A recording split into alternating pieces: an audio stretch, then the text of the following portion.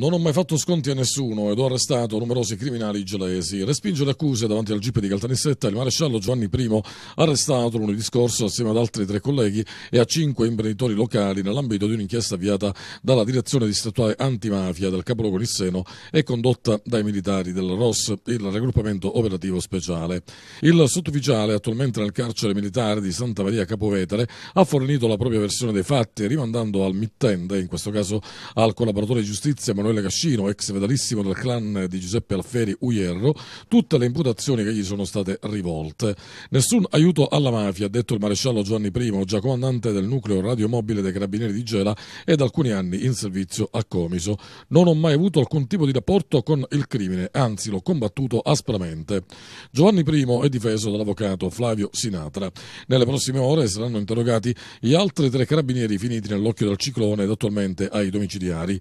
Si tratta di Salvatore Gurrieri in servizio a Gela, Marco Sassone che presta servizio a Lampedusa ed Ernesto Licata d'Andrea, da poco in pensione per sopraggiunti limiti di età.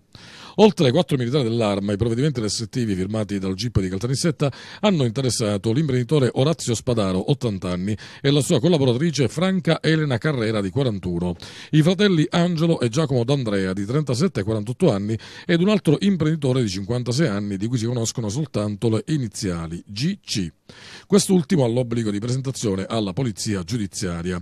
I nove indagati a vario titolo devono rispondere di concorso esterno in associazione di tipo mafioso, estorsione aggravata dalle finalità mafiose, corruzione per atti contrari ai doveri d'ufficio, rivelazione di segreto d'ufficio, accesso abusivo al sistema informativo, millantato credito, truffa ed altro. Tra gli episodi accertati nel corso dell'indagine figurano le attività estorsive consumate dal clan degli Alferi ai danni di un imprenditore gelese, la corruzione dello stesso imprenditore, finito come dicevamo ai domiciliari, al fine di acquisire informazioni riservate mediante la visione di fascicoli d'ufficio e l'accesso abusivo alle banche dati. L'inchiesta ha fatto luce inoltre su un'attività di recupero crediti e di vigilanza ai beni aziendali in cambio di favori ed utilità economiche e false dichiarazioni testimoniali e millantati crediti nell'ambito di procedimenti penali che riguardavano sinistri stradali e vertenze di lavoro per agevolare l'acquisizione di certificazioni amministrative presso gli uffici giudiziari locali.